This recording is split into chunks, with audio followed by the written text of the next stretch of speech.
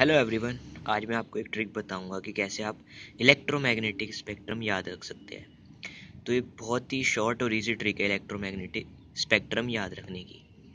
तो इसको हमें ऐसे याद रखना है, Ram Mandir in Varanasi UP have ten galleries Ram Mandir in Varanasi UP ten galleries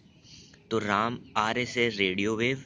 मंदिर एम से microwave infrared visible ultraviolet x ray क्योंकि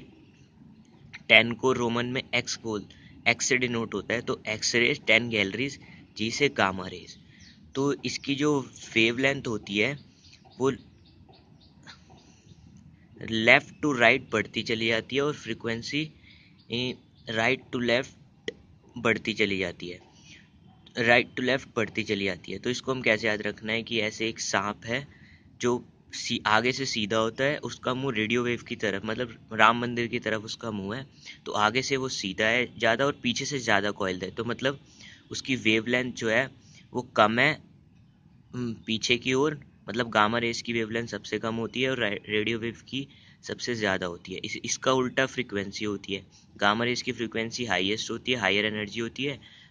और रेडियो वेव की लोअर फ्रिक्वेंसी और लोअर एनर्जी होती है।